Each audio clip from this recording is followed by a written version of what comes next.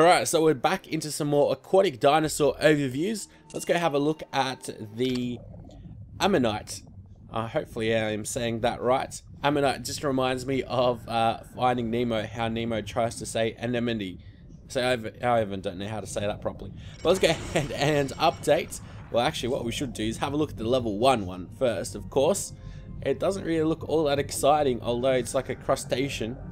Well, I guess it's not a crust. I wouldn't even know what to call this. I guess they're probably something very different turned by biologists. But wow, as you can see, it just pounds whatever it's got with its tentacles in front of it. Very, very intimidating looking animal. Alright, you definitely wanna wouldn't want a bunch of spaghetti flying right into you like that. Alright, so let's get this guy up to level 3 evolution now. Definitely looks very cool with his purple and yellow limbs. So let's go get this guy upgraded so then we can finally evolve the Ammonite to the final evolution. Alright, so this guy you actually get quite a lot of in the aquatic card packs. No, well, I guess a little bit more than the Megalodon, but still not as much as all the basic super rares. Because, I mean, these ones are, what, legendary dinosaurs.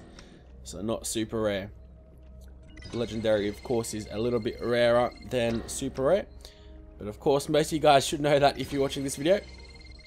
So let's go ahead and have a look at what this guy looks like. Seems like all of these max evolutions have a lot of horns. So it seems like this one's got a horn as well to it. Let's go have a look at it. Oh wow. Definitely would not want to get in the way of that. I wish they, once the animal was built, or the dinosaur, they'd put you back into the um, cage with it.